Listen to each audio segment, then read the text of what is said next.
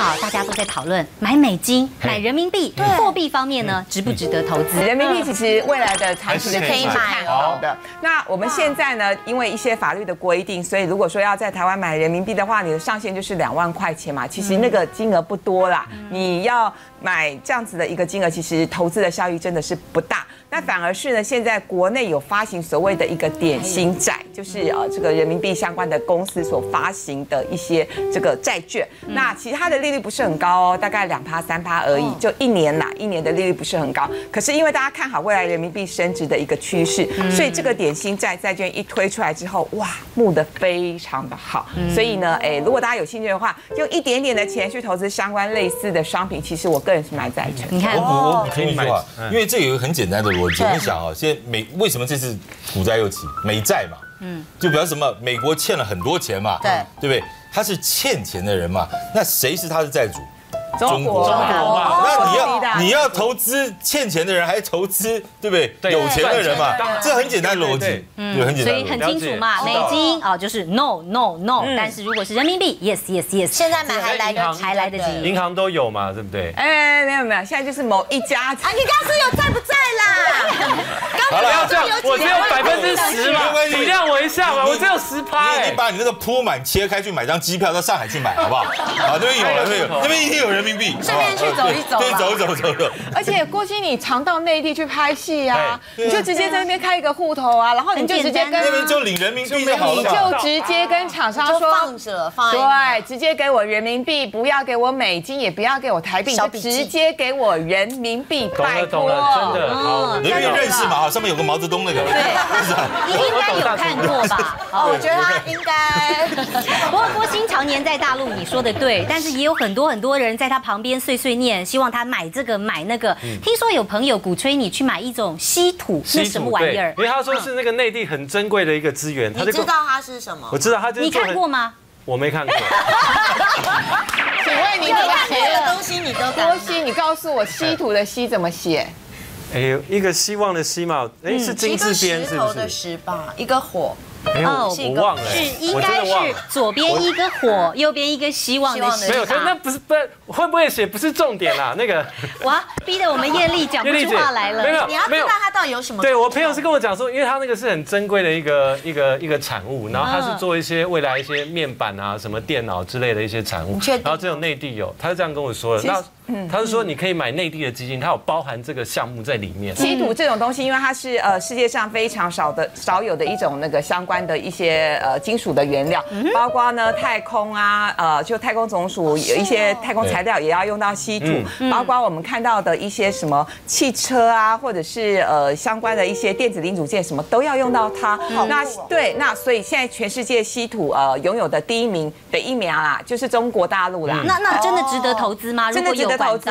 那只是说，因为它被炒作的太快太凶了，它去年的价格涨得非常非常的夸张，好多在美国挂牌的稀土公司哦，短短的半年价格就上涨一倍多，所以那就是因为你价格涨得太快，所以我才说，如果你今年才进场的话，其实那个价格其实就有下修的压会力。所以你跌是不讯息的来源不正确，然后再一次的跟你的又受伤钱财对擦身而过。好，没关系，你还有另外一个机会，就是我们接下来要讨论的黄金。我也想知道，我也想知道叶。丽姐，来，我先问。一下 Gigi，你自己本身有没有收藏黄金，或妈妈爸爸有没有留给你黄金当嫁妆？呃，是没有到嫁妆，可是就是以前可能见面的时候，他有送我呃很大的，也是链子啊，然后还有一块，嗯，那你都怎么处理？我把它留着。哦，那很我把它藏在我的那个储尸箱里面。你你平常会拿 拿出来戴吗？不会耶嗯，不喜欢因为它拿来做装很然后又很重，就一块一块的。嗯，那你收藏了多久？有没有曾经动过念头？因为价格一直往上攀升嘛，有想把它卖掉吗？我那时候就是买买那个房子，去年买房子的时候就少一些钱，我本来有想说要不要把它们全部卖掉了。嗯，对啊，因为收藏了很多年了。那还好，最后你还好，我后来就是 hold 住了，车真的，hold 住没有把它变还好卖。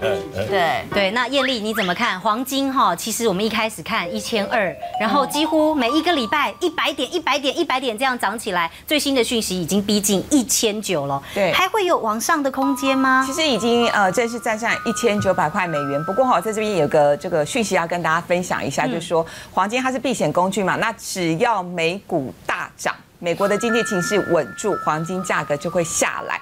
那所以我们看到呢，这个八月下旬的时候呢，美股它确实是呃连续几天大涨，那黄金这价格波动非常的大，一天之内呢暴跌三十到四十块美元。所以在这边我觉得黄金操作难度非常非常的高。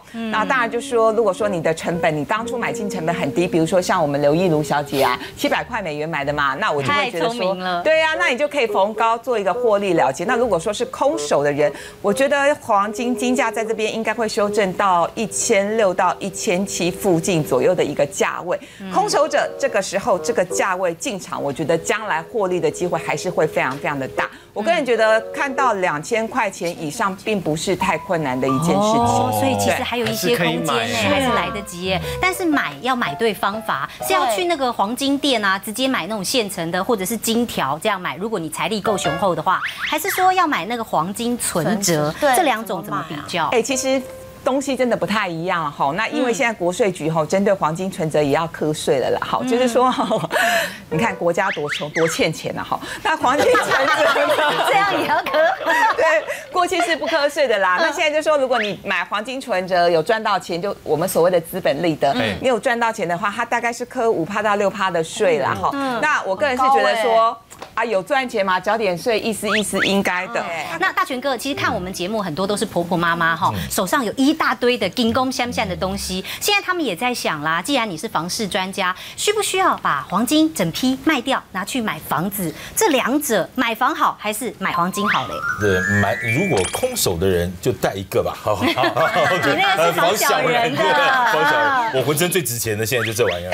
然后我觉得其实这个看你介入的部位也有关系。嗯对，我说其实黄金其实也可以这样操作，就是如果说你之前是很早很早以前买的，哦，那那如果现在可以去做点调节，那 OK。对，所以这个问题就牵扯到说，黄金是一个没有利息的东西，所以你自己心里要有数。好，对，而且它没办法怎么没办法用。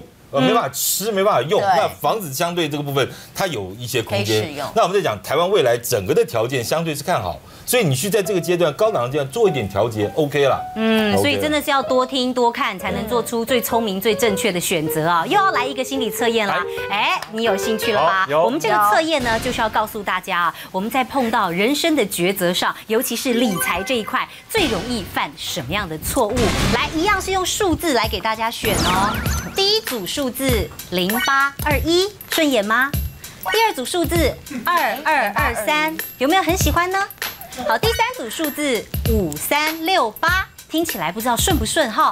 第四组数字四五九八哦，也是八尾，感觉好像发发发那种感觉哦。好了，没关系，大家就用直觉。观众朋友，你现在也赶快从 A B C D 来选一个你最喜欢的数字。我们要告诉你啊，你在投资上容易犯什么样的错，就怕钱要财选跟我一。样的啦。好，选好了吗？对，先看他。你不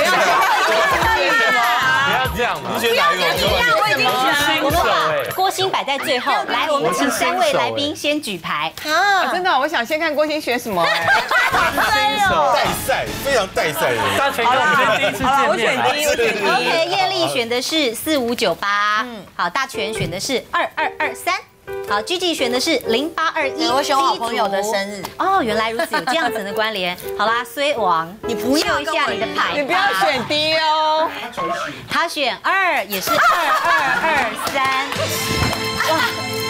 现在大全大全哥哥在那里捶胸顿足，因为他的选择跟你一样。所以也是有潜力的，有潜力，有潜力，有潜力的。谢谢。没关系，我挺你，郭鑫，我也加入你，我也选二二二三，直觉觉得这组不错啊。来宾选好了吗？观众朋友，你选哪一组呢？来，我们来听听 Selina 老师给我们做分析。好，呃，在场因为有好几位都已经走过这个金融理财，从刚开始并不知道呃怎么进入金融市场，到现在已经变成是里面的老手了。所以在这个投资理财容易犯的错误呢，我们针对是刚开始你进入的时候，你并不了解这整个市场里面众说纷纭啊，所以你会怎么做？好，所以可能对专家们来说是过去的经验，可对郭鑫来说可能是现在正经验中的是的。OK，好，那我们先从 B 来看好了。好好，因为最多人选，最多学生选 B，二三。好，选择 B 的人呢，二二三呢，代表说你在投资过程里面，曾经或者是现在正式的，是你太看重过去的这个历史资料。所以呢，市场是活的，一直在变化当中。曾经你会因为说，我看了很多的资料，但是你的资料并不符于，没有办法去预测未来，因为市场是活的，它随时都在变动当中，所以这可能是曾经犯过的错误。哦，我懂你的意思。像我现在就一直觉得大安区的房价就应该要五六十万才行，因为我还活在过去的历史里，人家现在都涨到一百多万差一啊，只差一，只差一多加一个一就对了这个有道理。其实郭欣，其实我觉得一直啊，对你练了少林寺功夫，还不如不练。我我我说真的，其实这个我讲我是心情。其实你说啊，我们投做房地产是不是投资很多？给你八个字：江湖月老感觉那少林寺功夫还不如不练。我我说真的，其实这我讲我是心情。其实你说啊，我们投做房地产是不是投资很多？给你八个字：江湖越老胆子越小。看看你看过太多。了，然后说啊什么什么买房子，年纪越大啊越不敢。买的越越来啊。呃，年纪越大买的越少，就是一样一样状况，所以没关系，你随便乱买了。好，呃，跟大家讲一下，不要买那个地方，好不好？这个是建议吗？不老师是看准你资本非常雄厚啦，所以就是不阿 Loki 随便乱买好看到都会赚喜欢的你就买了，这个反正就住在里面嘛。好，所以如果选到二二二三这一组的观众朋友，你就不要拘泥于过去啊，一定要记得要看现在的资料，跟着时局走。好，下一个。好，那我们看一下选 A 的好了，OK，就是选的 A 呢，他在曾经呢投资过程里面犯的错误就是听信名牌，道听途说，所以这个过程里面有时候刚开始不了解的时候，曾经拿过自己的资金开玩笑，嗯，OK，所以他在这个过程里面学到的智慧就是我的投资我一定要自己下去学习，然后慢慢的了解，自己。嗯，才能够去做这个后面的动作，才有办法获利，嗯。对，少听身边的那些谗言，对。但是多来上我们节目，我们节目真的都是真言，而且都是专家。做功课，嗯，OK，好，下一组，呃，我们 C 是没有人选的，是不是？对，没有 OK，那我们如果选。观众朋友选 C 的话呢，你在投资上面遇到最大的问题就是资金周转不足。哦，就是说投资的项目太多了，每一样都非常美好，但没有钱。现在我的钱不够，所以你可能会做一件事情是跟朋友合资，或我们一起去买什么，那这个部分要注意。好，你可能因为在人跟人中间，哦，资金上面碰到赚钱的时候，在分赃的时候会碰到一些问题，哦，所以这里面要注意。好，最后一个四五九八，第一组也就是艳丽选的这个，好，在呃艳丽选 D OK，选四五九八的人呢，在这个投资上面最容易犯犯过的错误或曾经犯过的就是什么呢？曾经过度相信自己的判断，没有设立停损，所以呢，他在投资的过程里面呢，会一直预期市场，然后做凹单的动作，或去想说应该会。那他透过这样的一个经验里面学习到说，原来他必须要非常的力守他的纪律啊，在投资的市场里面。嗯，谢谢 Selina 老师给我们的分析，幸福相谈所，谢谢所有来宾的分享，见。